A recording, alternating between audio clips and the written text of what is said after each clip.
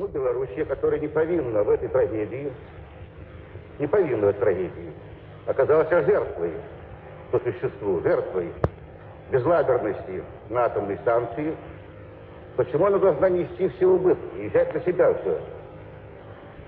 Почему союзное правительство, почему министерство это не компенсирует ущерб, нанесенный нашему народу? Нет методики подсчета этого бедствия. И смотрите, существует порядок.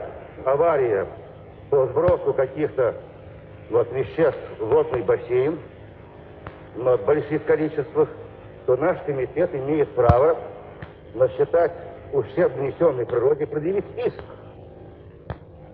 этому предприятию.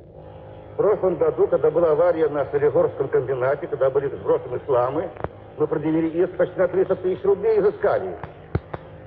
Нет методики подсчета этого ущерба, который можно было предъявить этому министерству. Сразу же снять надо было бы планы заготовок и производства продукции сельского хозяйства. И все это осталось на плечах республики. Это элементарно, наверное. Вот говорят, с нового года будет сделано. Заняло 4 года, чтобы это сделать. А что нельзя было помочь нашей республике завозу чистой продукции из других районов Советского Союза? Непонятно это отношение и по другим вопросам. Например, по решению чрезвычайной комиссии Союза СССР был создан так называемый Полесский экологический заповедник.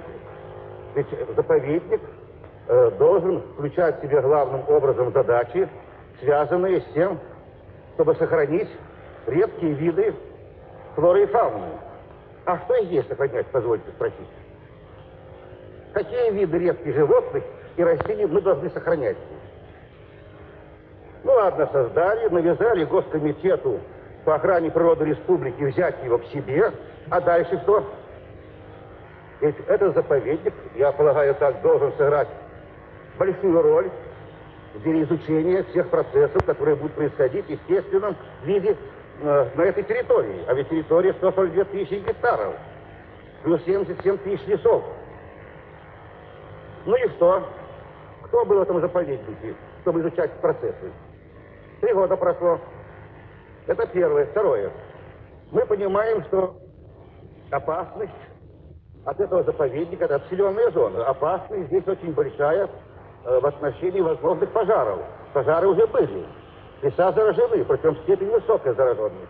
При пожарах опять-таки возникает облако, которое распространяется опять вторично на территории этих районов. Госкомитет год бьется, чтобы нам дали противопожарную технику в этот заповедник. Глухо, как танки. Ты как это понимать? Мы бьемся год уже, чтобы в этом заповеднике определить заработную плату работников. Обращаемся в союзные органы.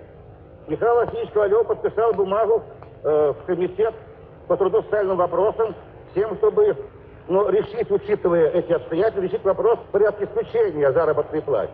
Нам отвечает товарищ Гладкий о том, что, председатель комитета, о том, что все заповедники страны имеют одинаковый тариф.